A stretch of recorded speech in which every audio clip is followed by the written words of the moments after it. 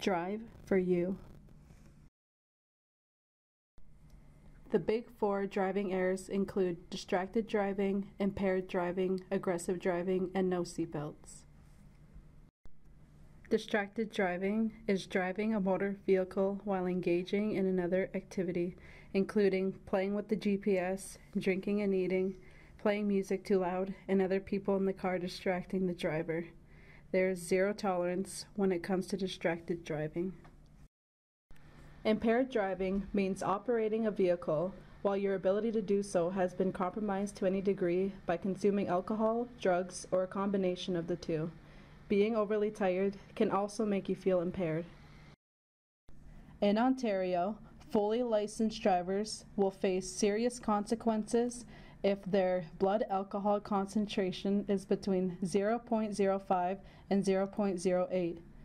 This is commonly referred to as the Warn range. Driving with blood alcohol concentration over 0.08 is a criminal offense and the penalties are severe. Aggressive driving is the operation of a motor vehicle in an unsafe and hostile manner without regard for others. It can include tailgating, speeding, failing to yield the right of way, or cutting in front of someone. It can cause the driver to feel angry and frustrated. No seatbelts. Airbags are designed to work with seatbelts, not replace them. Seatbelts reduce deaths and injuries by 50%. There are more tickets issued to 25 to 34 year olds. And remember, drive for you.